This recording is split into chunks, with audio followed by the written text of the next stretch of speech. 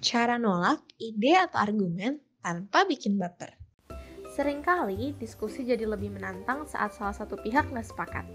Dalam beberapa kasus, bisa timbul adu mulut yang nggak diperlukan. Salah-salah kata, pihak yang dengar bisa jadi baper berkepanjangan.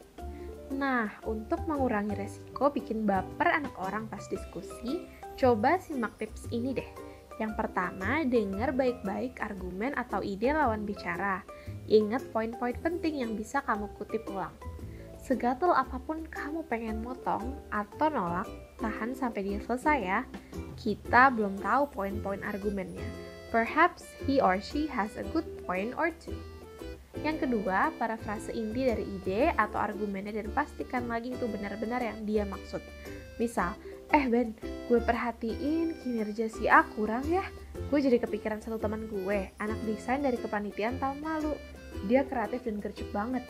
Dengan permintaan anak acara yang makin banyak, kita butuh bantuan ekstra gak sih?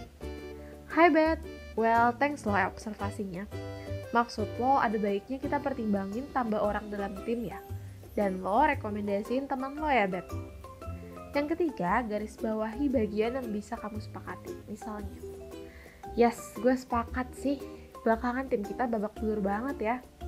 Yang keempat, lanjutin dengan challenge atau tantang ide dia lewat pertanyaan. Misal, tapi Bet, si A kan baru dua minggu nih. Pasti dia masih adaptasi dan belajar. Mana anak acara permintaannya berubah-ubah kan?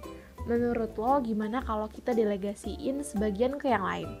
Kayaknya B dan C bebannya udah berkurang karena poster udah naik. Kira-kira itu tips dari Beneran Indonesia. Semoga bisa menolong kita untuk nyampein argumen tanpa bikin anak orang baper ya.